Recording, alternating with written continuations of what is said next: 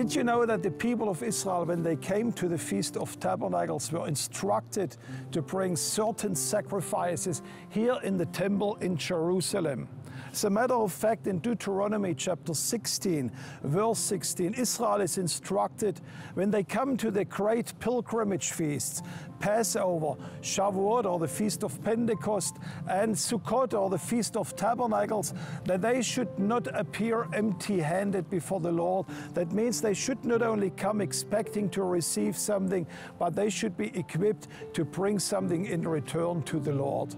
And then also in Numbers chapter 29, there is a whole series of instruction of various sacrifices that the Lord commanded Israel to bring. The priests would bring every day a certain amount of bulls, 70 in the whole week of, of the Feast of Tabernacles, and almost 100 lambs during the entire week. That means it was a celebration of sacrifice and offerings to the Lord. And those 70 bulls, the rabbis explain that they represent the 70 nation of the world. That means they are going to bless the whole world during Sukkot.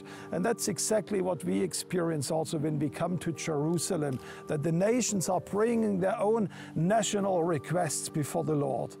But then also as they were bringing those sacrifices in the temple, the Talmud reports to us that they would circle the altar and they had a special song on their lips. They were quoting Psalm 118 which says, Hodu ladonai kitov ki leolam chasto. Give thanks to the Lord because he is good and his mercy endures forever. A powerful declaration of the goodness of God. And they would continue with verse 24 25, Hoshiana Adonai, Lord save us, give us prosperity and give us, uh, let our, our ways be prosperous.